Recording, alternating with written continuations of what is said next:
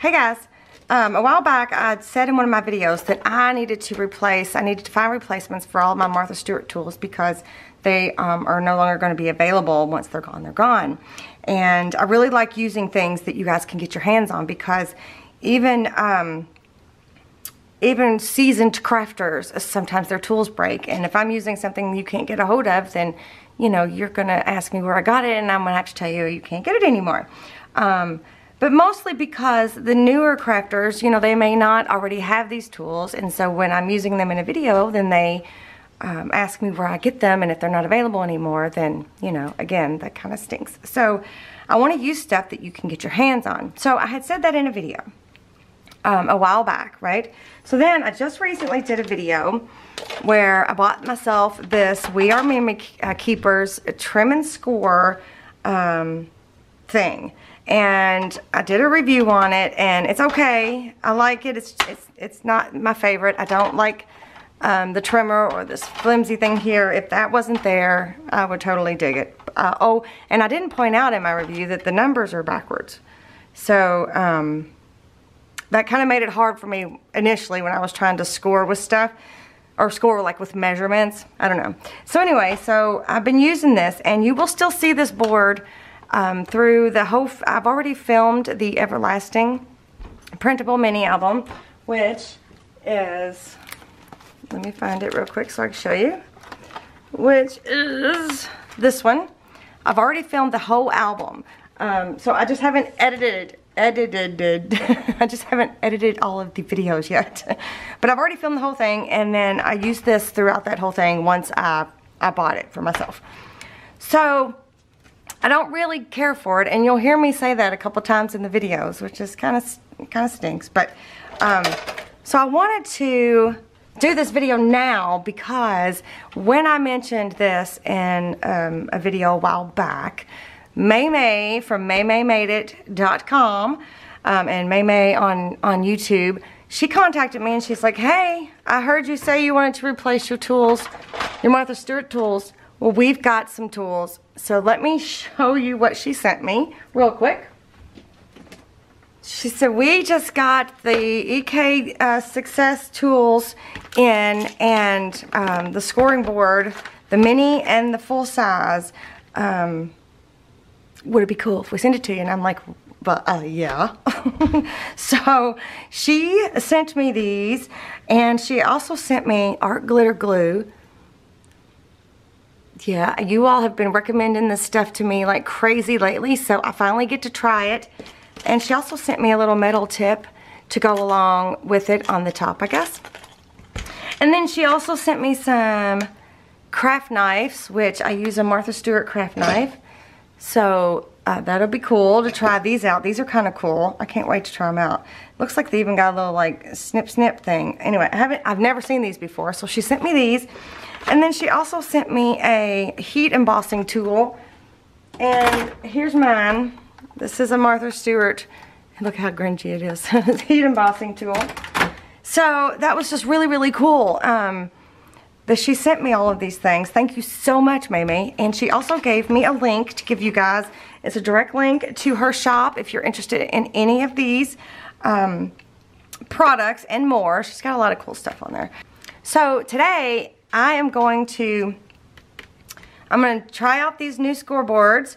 I think I'm going to try out the craft knife and the glue. I don't have anything to use this on yet, but this is a Marvy embossing heat tool. So um, the next chance I get, I'm going to try this out. It looks pretty cool. So anyway, again, thank you so much, May May, for sending me these tools. That was so awesome. So let's just go ahead and start. Let's get let's get these out of the packages. Oh, I'm also I've also kept these out so that we can like compare because from what I hear, they're supposed to be the same. So let me get these out of the packages and then I'll be right back. Okay, so I think that both boards are the same size. Um, I think they're the same on the front and back. They're just different colors. Um, they look like they're, these look like they're exactly identical, except these are different. This, this, these um, bone folders, but I never liked Martha Stewart's bone folders in the first place. So um, that doesn't bother me a bit. But they look the exact same. The well, the the uh, indentions might seem to me might be a little bit deeper. Maybe just a little bit. I could be completely wrong on that, but it kind of looks like it. Maybe this one's just dirty.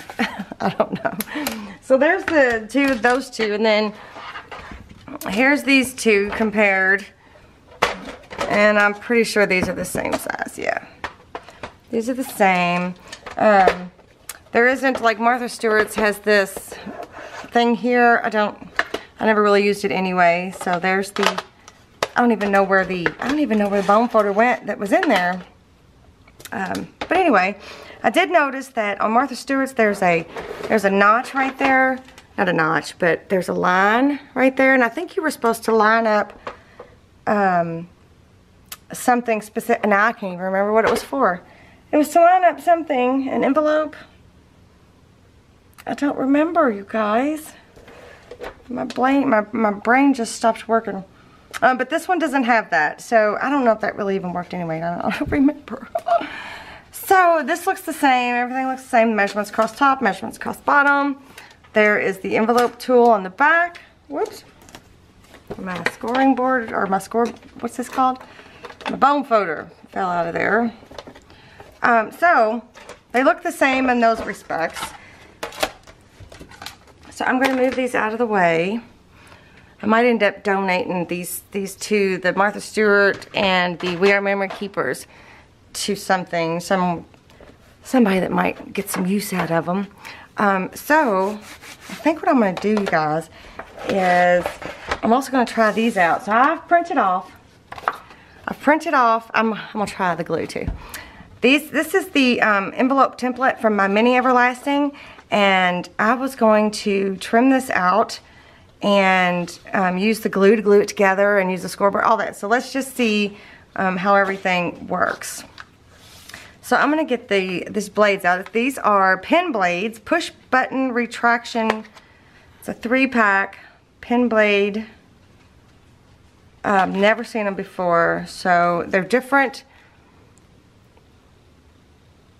They've got different like blades on them, right? And there's like, the one in the middle is like a traditional craft knife. So I'm just gonna go ahead and open this up here.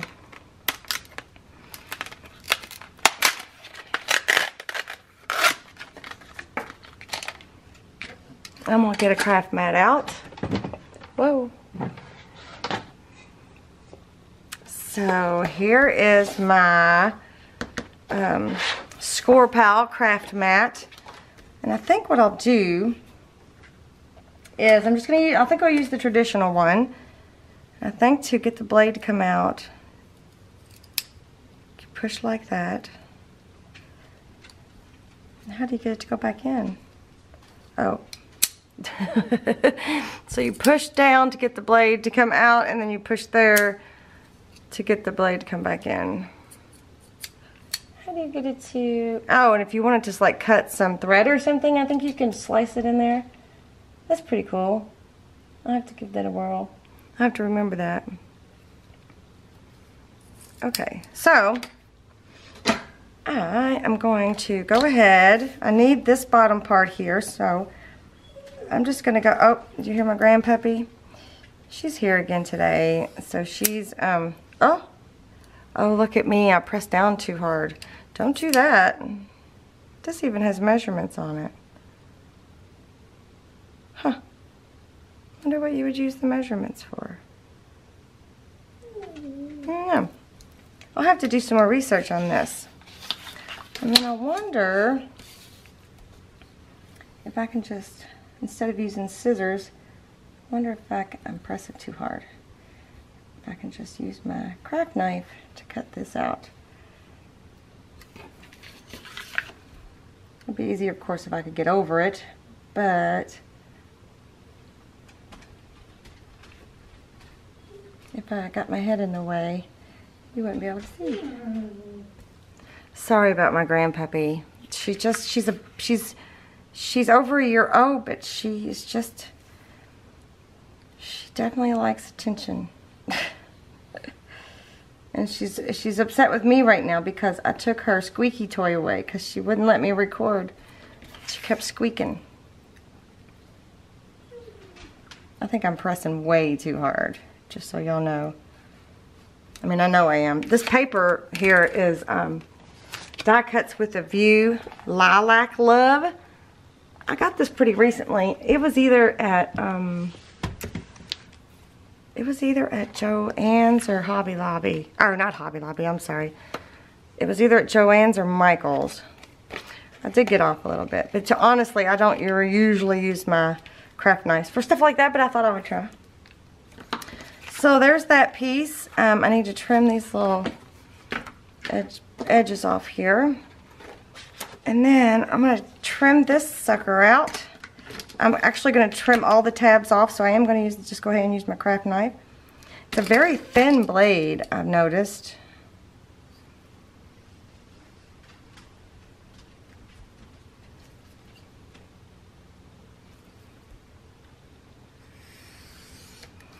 There we go. I didn't press as hard and it wasn't near as it wasn't near as hard to get through. I'm just going to go ahead and cut that off. And I'll go ahead and cut this edge off here. I really like the craft knife. It's pretty cool.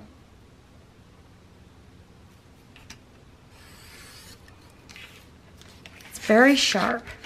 I still don't know. Are these disposable? Does anybody know? I don't know.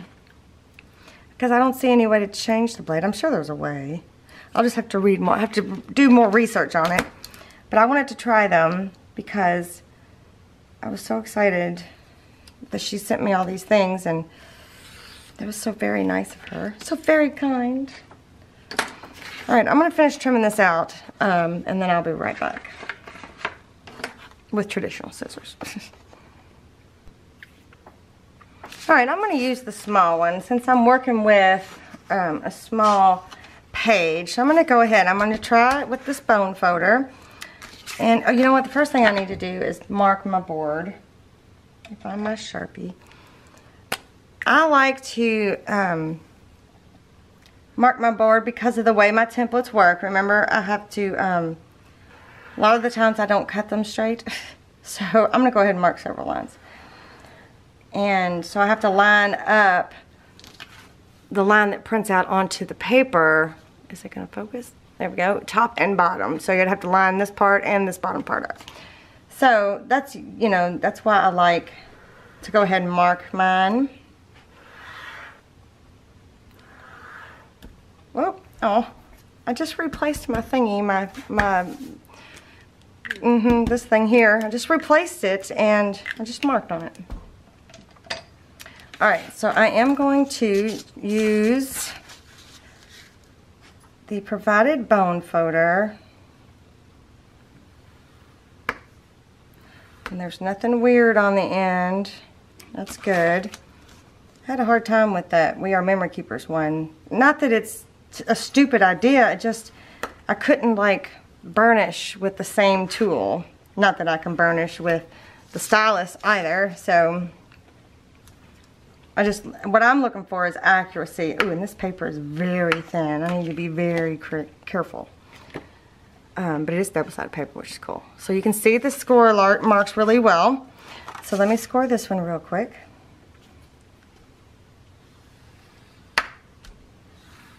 Okay.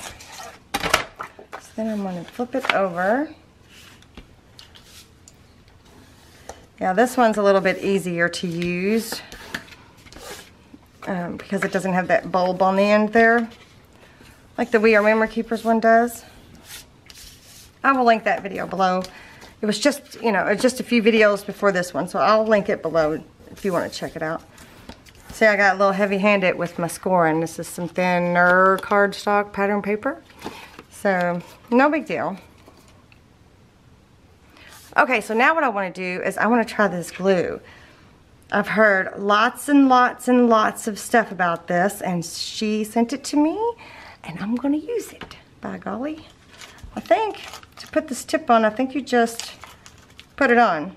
Firmly screw stainless tip onto black spout. Yep. So I'm going to go ahead and do that. I've heard a lot of people say they love this stuff. It dries quick. You don't have a lot of wiggle room. You know, sometimes I need my wiggle room, but I've also heard that if you don't use it, if you don't make it too thick, that you won't see it through your paper. And this is kind of thin paper, because you know how glue can warp. Um, cardstock, thinner cardstock, thinner papers. Um, nobody likes that. Nobody likes that at all. Okay. So let's see. I just screw it down, it says. I hope that there's nothing keeping this. Oh. yeah, that might have been a little frustrating. Okay, so I like the idea of this little fine tip. Pretty tiny. And then it comes with a pen. I guess it's a stainless steel pen so that it doesn't um, stick to the glue. I don't know, we'll see. So the first thing I want to do is I want to tack these this bottom piece to the side pieces. So I'm just going to try, put a little dab. Let's see if I should smear it just a little bit. And then I'm going to hold it down for a second.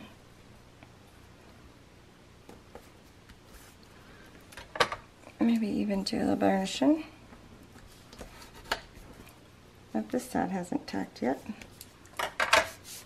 But I don't normally use wet glue for something like this anyway, but um, I usually use score tape, but I wanted to see if it works because, you know, you can go through some serious score tape in a project. So I'm going to go ahead and glue it down to the part one of this envelope.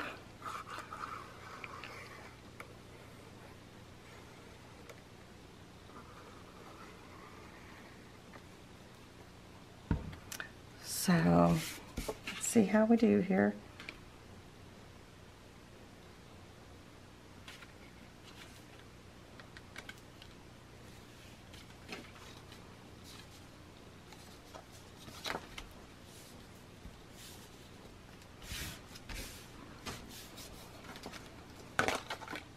Isn't this paper pretty? Of course it's purple. It's my favorite color. Okay, so it looks like it's good. Looks like that has been, where's my, tacked down pretty good. I don't see any warping. And this is thin paper, thin cardstock, so that's pretty good. I'm just so used to the score tape instant tack, you know? So, it's good and stuck down all the way around. So that's awesome. So I think I'm really gonna like this glue. Okay, so I've got my envelope all done and put together. I added my little bow for my template and I added my little bling because, you know, it's so cute. And a magnet closure. The glue held up, the, the glue did really good. I really liked it. So here's the scoop. So I am, like I said, I've already filmed all of the Everlasting, which, here it is, right here turned out really pretty. So that is the, ever I've already filmed it. So the last video you'll see with that one will be the embellishing of the covers. Um, and that's actually kind of a road trip kind of video. But anyway, so I use the We Are Memory Keeper scoreboard all the way through that filming of those videos.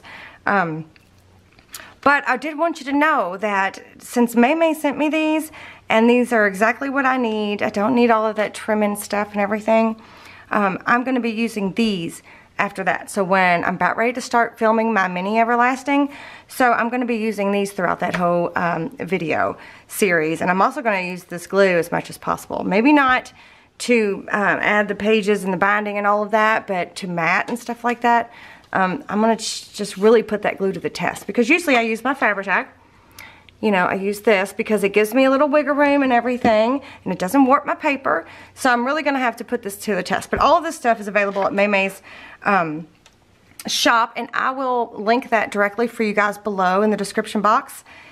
I'm also going to put these uh, to the test, these craft knives. I'm going to have to do a little more research on them, um, but they look pretty cool. They seem pretty cool. So we'll see on these. So I'm to use these some more, and I'm also to use that heat gun she sent me. So again, thank you, May May, so much for sending me these tools. That is so awesome. Okay, so if you like this video, give me a thumbs up. Uh, leave me a comment in the comment section below and let me know what you think of these. A lot of you recommended these to me, so um, thank you. And again, thank you, May May. And um, if you haven't subscribed to my channel, go ahead and hit this little circle right here and check out the other videos on the screen. It might be something you want to see. And I will link anything and everything I can think of in the description box below, um, including May May's shop. And I will see you guys next time. Bye.